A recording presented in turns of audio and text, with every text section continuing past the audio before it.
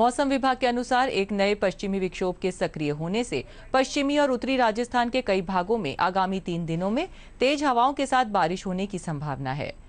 विभाग के निदेशक राधेश्याम शर्मा ने बताया कि इस दौरान जोधपुर बीकानेर जयपुर और भरतपुर संभाग में 40 से 50 किलोमीटर प्रति घंटा की रफ्तार से हवाएँ चलने की उम्मीद है। का असर 21, 22 और 23 मई को पश्चिमी राजस्थान के जोधपुर और बीकानेर संभाग में रहेगा। साथ ही उत्तरी राजस्थान के जयपुर और भरतपुर डिवीज़न में भी दोपहर के बाद थंडरस्टॉर्म अचानक तेज हवाओं के साथ हल्के से मध्यम दर्जे की बारिश होने की संभावना है। पश्चिमी राजस्थान के जोधपुर और बीकानेर संभाग में 21 और 22 मई को तेज अंदर आने की भी संभावना है।